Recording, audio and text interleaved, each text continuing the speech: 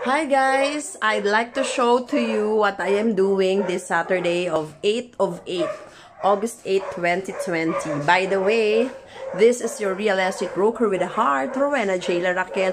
And I'm showing you the small space. This is just about maybe a 5 a square inch, square meter space ko na wala naman ako dati ditong ginagawa. So, naisip ko dahil nag-MECQ tayo and most of the time, we are home right now, starting nung March.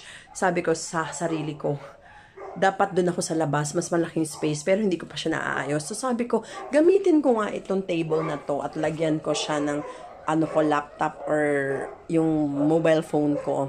Okay?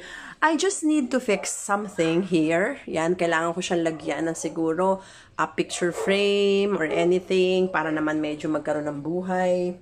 At ito kasing spasyong ito, ito yung window.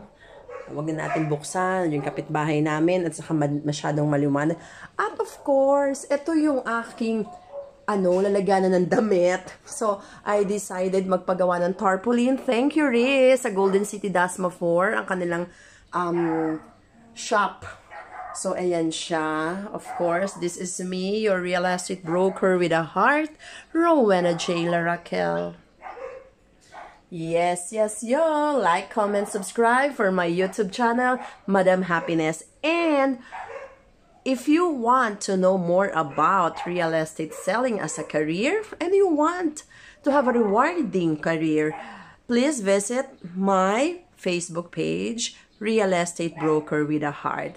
Look at that. These are some of my pictures. Wala akong paglagyan. And these are my abubot. That's how we utilize the space on top of my dressing uh, cabinet. So, and this is me.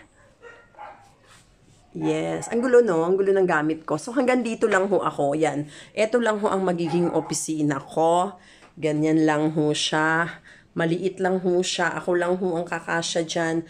At aayusin ko pa ho ito. Dahil ang gulo ng gamit ko, ito po yung iba kong gamit.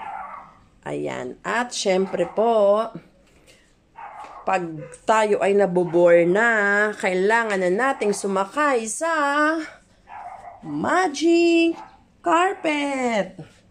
Ayan, medyo ano-ano na, okay.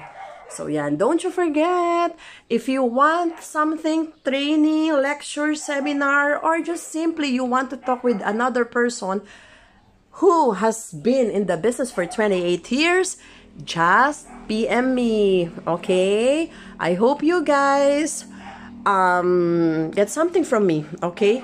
Ito, ito ang kagandahan ko last year. Ito naman about three years ago.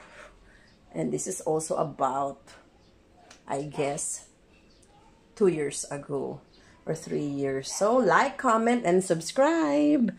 Bye!